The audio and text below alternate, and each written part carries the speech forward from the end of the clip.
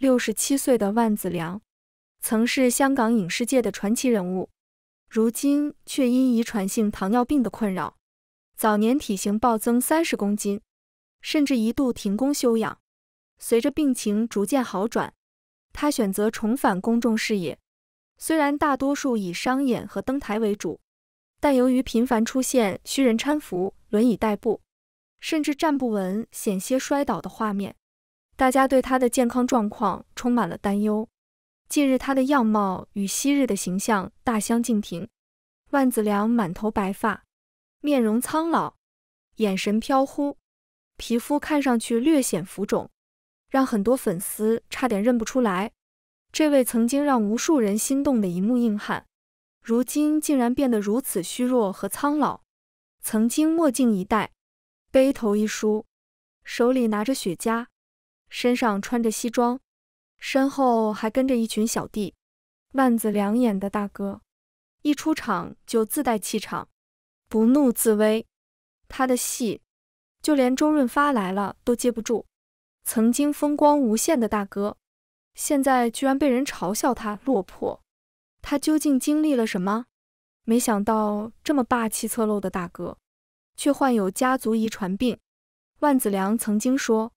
他患有糖尿病等一系列的慢性疾病，这些疾病都需要长期的治疗和管理。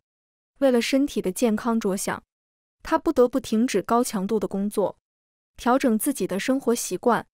调整了一段时间后，万梓良重新回到娱乐圈工作，却发现已经今时不同往日了。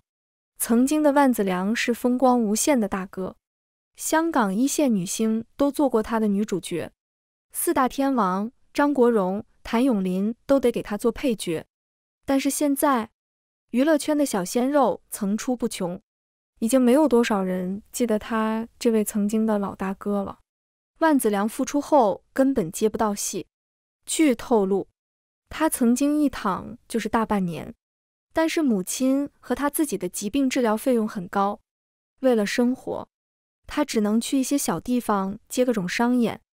他在环境简陋的舞台上唱歌，当戏份很少的配角，现状实在是令人唏嘘。网友遇到他在商演现场唱歌，评价说：“不偷不抢，不坑不骗，干干净净的赚钱，没什么丢人的。”万梓良真的太牛了，不管是过去还是现在，他的这个人生态度，看着就让人很感动。一般人可能接受不了。从天堂掉入到地狱的这种巨大落差感，但是万梓良不一样，他坚韧不拔，勇敢地面对了这一切。网友说：“演大哥，我只认万梓良，在剧中是大哥，在生活中也是大哥。他一直在积极地去寻找解决问题的办法，在不断地突破自我，甚至还去尝试过自主创业，创立了自己的品牌。”虽然最终还是失败了，钱也全都打了水漂，但值得一提的是，虽然大哥落魄了，但是护短的心还存在。万梓良在同胞们遇到天灾时，他抗洪救灾，为河南郑州捐款了六十万。大哥永远是大哥，不管跌倒了多少次，他永远都会站起来，并且笑对人生。或许就是因为他的这种性格。才能让他获得众多美女的青睐。万梓良一共经历三段感情的波折，并且女友们都是大美女。第一任是比他年纪小很多的邓萃雯，万梓良总是下意识地管教着邓萃雯，但是女方却并不喜欢这种管教。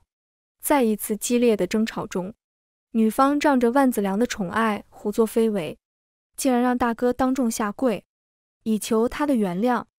这一举动让万梓良感到十分尴尬和无奈，也让他对这段感情产生了深深的怀疑。不久之后，二人就分手了。如今的邓萃雯在社交媒体上分享了自己的近况，她表示，毕竟人生要做些富有挑战的工作，让自己继续向前，走出舒适圈，令自己更热爱生活。她在话剧舞台上舞蹈。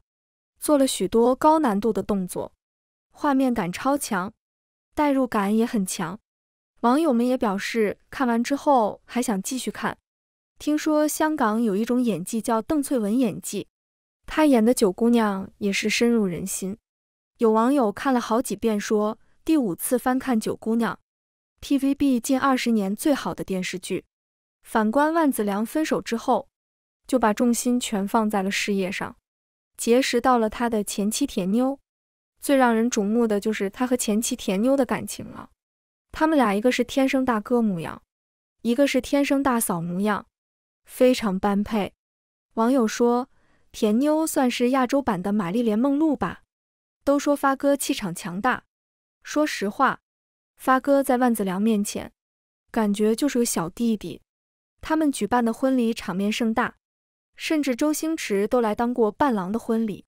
放到现在来看，如果能够邀请到周星驰来担任婚礼的伴郎，那估计就是最大牌了。TVB 当时都给这场婚礼全程直播录像，取名字叫《万紫千红喜迎亲》，来的全都是当时香港有头有脸的人物，任达华、吴镇宇、张卫健等等，都来参加了这场婚礼。刚开始，万梓良和田妞的日子过得蜜里调油。万梓良对田妞和他的女儿都疼爱有加，他曾用最朴素的话表达他的爱，在我们这个小家里。三个人就是一条心，一条命。可惜好景不长，两个人的婚姻并没有持续太久。虽然他们在离婚时并未公开透露过具体原因，但是根据知情人士透露，他们的性格不合，还时常会产生矛盾，这才导致了他们分道扬镳。如今田妞还在拍戏，她在社交媒体上公布了自己的近况。六十六岁的田妞素颜出镜，依稀能看出来她年轻时候的美貌。经历了两次不愉快的婚姻，再加上万梓良越来越不好的身体状况，她心灰意冷。本以为自己会一辈子孤独终老，却没想到峰回路转，遇到了真爱。万梓良就这样迎来了他的真爱郭黎明。网传郭黎明是个空姐，还比万梓良小了整整十七岁。而且还是女方追的男方，他丝毫不介意万梓良的年龄。他们排除万难在一起之后，很快就迎来了爱情的结晶，他们的儿子。这个孩子的到来，对于当时已经四十五岁的万梓良来说意义非凡。他第一次体会到了当一个爸爸的感觉，责任和喜悦充斥着他的内心。这个时刻对他来说意义非凡。作为万梓良的儿子来说，他的未来充满了无限可能。无论他选择哪条道路发展，相信都会得到父母的支持与理解。时至今日，万梓良已经在一个小县城里悠然享受晚年时光，与挚爱的妻子及孩子共度天伦之乐，享受平凡却温馨的家庭。这种平平淡淡的生活，可能就是他想追求的。